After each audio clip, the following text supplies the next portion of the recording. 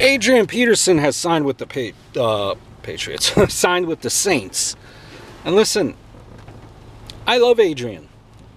I think he's probably one of the eight, let's say eight to ten greatest backs of all time. Certainly one of the greatest physical specimens we've ever seen. Sorry though, this deal makes zero sense whatsoever. It doesn't make any sense unless they're planning on moving Mark Ingram.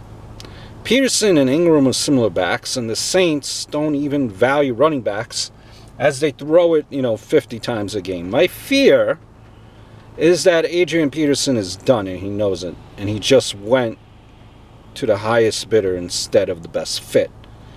And, not to mention, Peterson claimed he wanted to go to a contender. The Saints were 7 and 9. 7 and 9 last year, and they trade away their best wide receiver. I don't think anyone outside of New Orleans or Saints fans think that this team is contending in 2017. Doesn't make any sense. He's in, again, less of a position to compete for a title and is more likely to get blown up in the backfield on every play because of a subpar offensive line. He would have been better off, honestly, just staying in Minnesota. A backup running back for three and a half million. Now it's definitely not cheap. Saints do not have a good offensive line, as a lot of people are saying uh, on message boards. There, lying to yourself.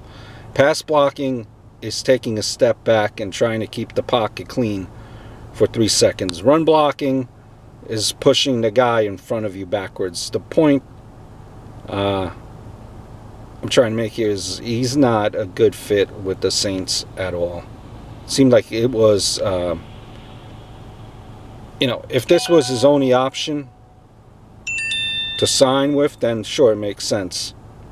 But if he had options like the Raiders or the Pats or even Green Bay, I find it hard to believe the Saints were the best fit. I hope all is well, and I look forward to speaking to you soon.